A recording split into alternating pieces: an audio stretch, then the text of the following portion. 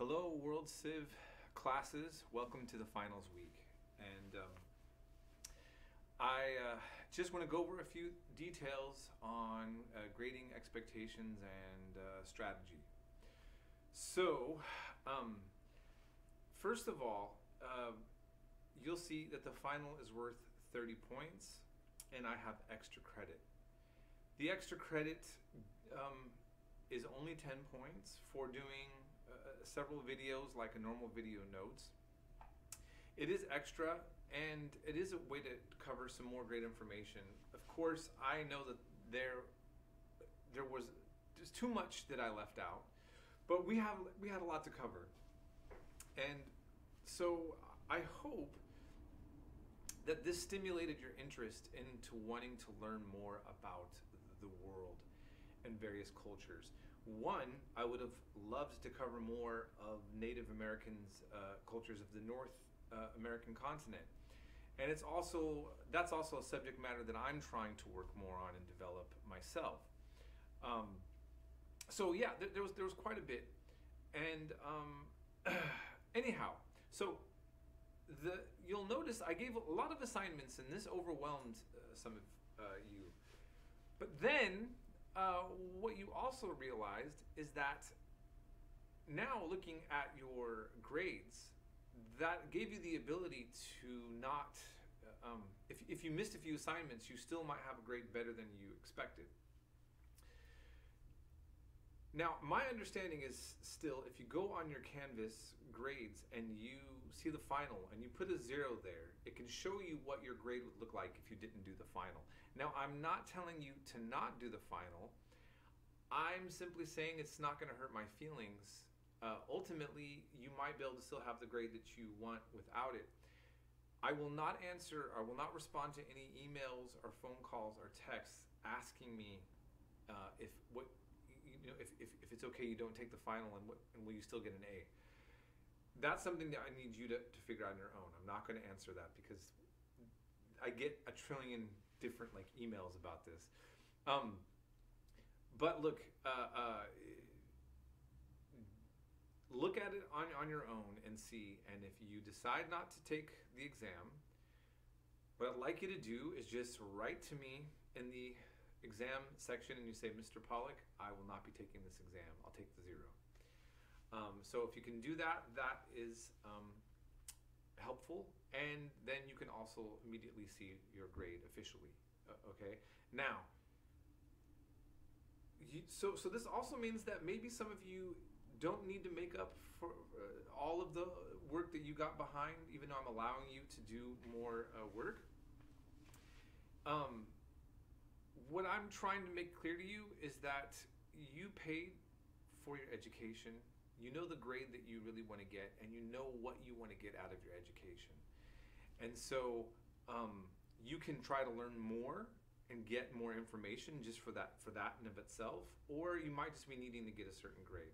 I'm not here to judge you on what you're doing. I was here to try to provide the best high quality education for you and make sure you could get the grade that you deserve. Okay?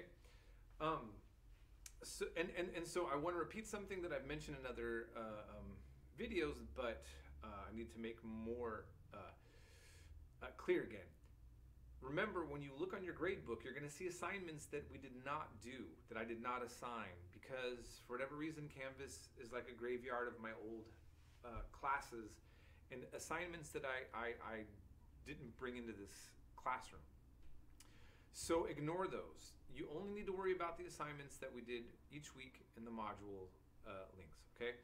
Um, so um, that's the main thing I wanted to point out about the grades. Also, I'm going to remind you again that Canvas doesn't always show me when you turn in late work on discussions and uh, um, like make a reply and things like that.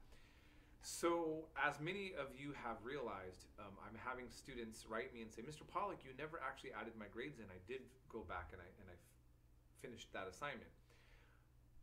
Canvas isn't letting me know, so I need you to let me know. Okay? Now, what I plan on doing is this: is the final is due on Wednesday. Um, I plan on getting everything in your in the grade book finished by Friday. And then Sunday, I will put the official, I'll put your grades finally into Pirates Net. That gives you a few days from when I announce that, that I'm done grading. Excuse me. To look and make sure that the grade seems fair and that you're okay with what the, your grade's going to look like. If you have a problem with what you see, contact me right away. And then Sunday, uh, uh, um, because I'll be working Saturday, but if you've contacted me, especially before, I can go back and and uh, look at what's going on and get it fixed before I turn it into Pirates Net. Okay, so that means I know you're all busy.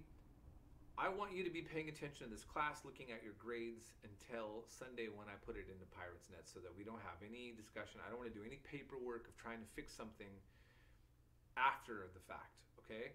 So let's get this all figured out together, okay? Um, and do it on time, and then we'll be good.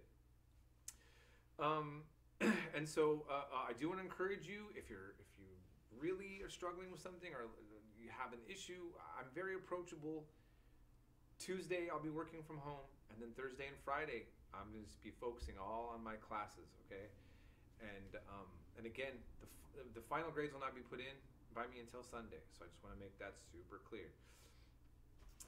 and then lastly, I just want to address what we just did in this class. What we just did is we covered a lot of information about world civilizations.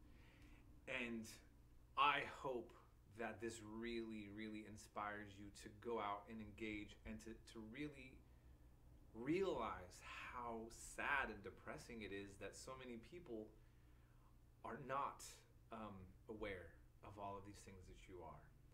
And remember, I, I, I like to quote a, I think this might be exact quote from a, a proverb that uh, Benjamin Franklin wrote, and he said, "There's no shame in being ignorant, but unwilling to learn."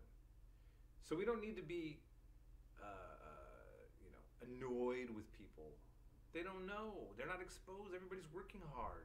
We low quality media. Uh, no one knows what to surf through on the internet properly. So it's difficult. But you've had an opportunity to get some quality education about world civilizations and, and world religions.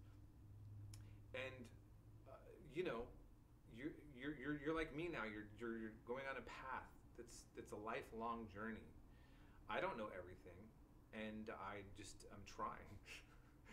and some of us try harder than others, and some just don't really care that much, and that's okay. Like like we all are having our thing on on all this, but. You know, I, I might have mentioned this before in one of the last uh, other videos, but I want to just say this again.